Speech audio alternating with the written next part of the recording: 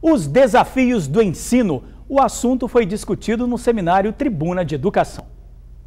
Foram mais de 2 mil inscritos, a maioria professores com fome de conhecimento. A abertura do seminário foi feita pelo secretário estadual de Educação. Há dois anos atrás nós aprovamos o Plano Nacional de Educação e há um ano atrás os planos estaduais.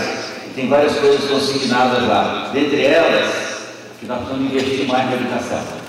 O primeiro palestrante foi o professor Leandro Carnal. Ele é doutor pela Universidade de São Paulo e leciona há mais de 30 anos. Carnal falou sobre a importância de saber administrar bem o tempo para usá-lo a favor da educação. Nós precisamos, neste mundo que oferece excesso de informações, saber selecionar, saber que o problema hoje não é obter dados, mas selecionar e validar dados, saber que existe um tempo de aprendizado, diz um grande pedagogo Comênio que todas as pessoas podem aprender, mas cada uma tem um tempo para aprender, poder administrar conhecimento, estratégia de vida e fazer disso um projeto de fato. Na verdade, eu convido as pessoas a seguirem uma ideia de que eles são sujeitos históricos. As coisas não acontecem por destino, por acaso, são sujeitos da sua própria vida, que ninguém sabe ou ninguém engorda ou ninguém passa por problemas sem que haja uma certa responsabilidade das suas escolhas. Né?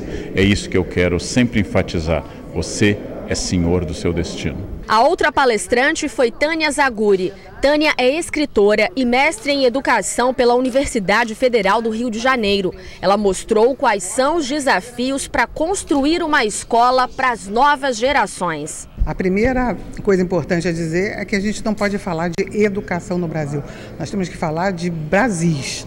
Nós temos hoje uma escola pública, bem diferenciada da escola privada, mas o que não quer dizer obrigatoriamente que toda escola privada tem uma qualidade inegável. Eu acho que existem muitas ideias, né? É, especialmente eu vejo é, hoje na sociedade brasileira uma ideia que parece assim que já virou assim um dogma.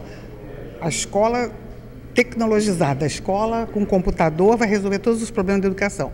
O que não é verdade, porque não adianta você dar um computador é, ou informatizar a escola sem que hajam softwares adequados, né? que haja uma grande gama de, de possibilidades de usos dos conteúdos, né? Quer dizer, e obviamente que o professor esteja qualificado para isso. A educação é uma ferramenta de transformação.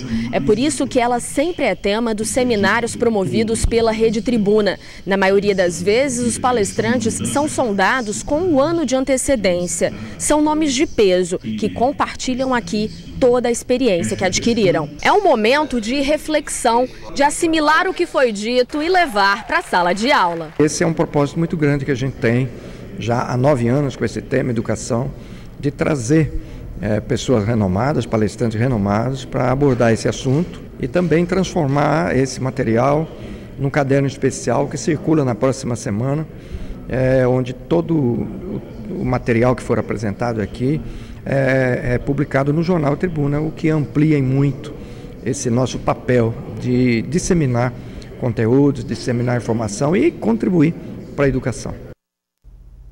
O caderno especial será publicado na próxima segunda-feira e tem mais seminário este ano, dia 8 de novembro, com o tema Planejamento e Gestão. E a seguir, corpo de idosa encontrado em Maré de Cariacica. A gente já volta. O corpo de uma idosa foi encontrado na Maré, em Cariacica. Ana Melo de Oliveira, de 93 anos, foi encontrada já sem vida perto do bairro Alto Boa Vista. De acordo com uma testemunha, a senhora foi vista descendo de um ônibus. Minutos depois, o corpo apareceu boiando no mar. O morador que viu a idosa saindo do coletivo disse que ainda tentou socorrê-la, mas já era tarde. A filha da vítima esteve no local. Ainda não se sabe o motivo da morte. A perícia foi acionada para recolher o corpo. E a gente fica por aqui. Muito obrigado por assistir ao jornal, pela companhia de sempre, uma boa noite e eu te espero amanhã.